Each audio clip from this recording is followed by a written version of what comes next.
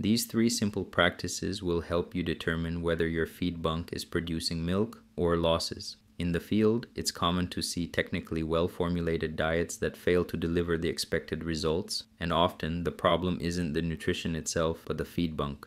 Poor bunk management leads to dry matter losses and directly reduces milk production. According to NASEM 2021, dry matter intake is the main determinant of milk yield. Any issue affecting access, feeding frequency, or cow behavior at the feed bunk compromises diet efficiency and milk conversion. The first practice is to evaluate the feed bunk score. Ideally, aim for 3% to 5% refusals, enough to ensure all cows have access to feed, but not so much that it indicates waste or heating of the silage. The second is to monitor feed access time. Cows need fresh feed available for at least 20 hours per day, with regular push ups every 2 to 3 hours at minimum. This helps stabilize intake and minimizes fluctuations in ruminal pH, enhancing digestibility. The third is to visually assess the consistency and homogeneity of the TMR. A poorly mixed ration, or one with particle sorting, alters intake patterns, reduces nutrient use efficiency,